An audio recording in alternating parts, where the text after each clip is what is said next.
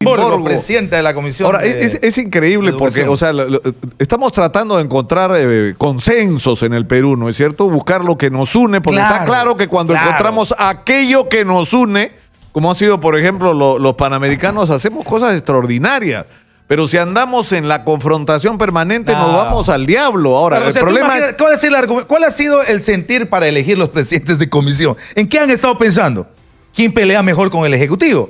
Por eso le pones a Tamar, Pero- por eso le pones Tamar, a o Salazar, sea, por eso le pones eh, a. Estamos a hablando, claro, pero ¿no? si tú estás hablando de la educación, que estamos comentando la crisis profunda en la que se encuentra y la necesidad de producir una transformación, y pones de presidenta de la, de la, de la comisión a una persona que es una conocida. Eh, eh, eh, miembro feligresa de una iglesia evangélica de las más Sí. radicales, Sí, además sí. viene de una familia evangélica muy radical, que tiene posturas ultra radicales sobre Muy, muy prácticamente todo. ¿no? Lo, lo cual no estaría Entonces- mal si ese es un tema personal. No, pero- El asunto es que eso no puedes traerlo para que sea, digamos, ingrediente a una labor legislativa y a una postura de Estado, porque el Estado, por supuesto, representa a todos, ¿no?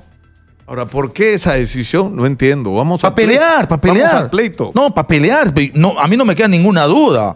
Eh, ahora, no sé en qué va a terminar el asunto, pero está clarísimo. O sea, ¿cuál es la mejor carta para pelear en tema educativo en, eh, eh, desde el Congreso contra el Ejecutivo? Por supuesto, la señora Arimborgo. Por eso es que. A ver, es- va- vamos es- es a recordar lo que dicho- dijo nuestra flamante presidenta de la Comisión de Educación hace algunos meses atrás.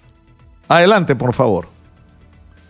Poniendo las cosas en su lugar, la función biológica del sexo y de su anatomía orgánica es la reproducción y no el placer.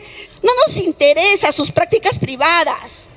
No nos interesa qué hace cada uno con su cuerpo. Han querido degradar a los niños, impedir la formación de su identidad sexual, llevarlo al placer carnal sin valores y sin reglas. El señor Vizcarra para mí, su gobierno se llama incapacidad, ineptitud.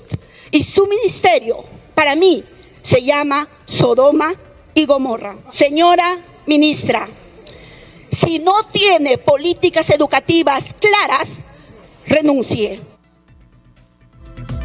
Bueno, es- Poniendo- eso fue lo más suave que dijo, ¿no? Porque te acuerdas que decía que esto inducía a la.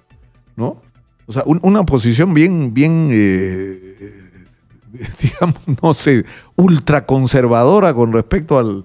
¿no? Al- a que los genitales son para reproducirse, ¿no? No puedes tener placer porque No, eso es Está así, prohibido el placer. pecaminoso.